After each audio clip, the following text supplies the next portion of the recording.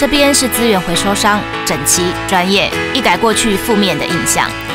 这边是个体业者，他们从沿街捡拾的脏乱小贩，准备摇身一变成为回收专责人员。啊，白天的真辛苦哦，今麦政府咧辅导一种个体业者，有补助真侪器具甲福利哦。环保署推动的资源回收形象改造计划，成功整合回收系统，提升了整体印象。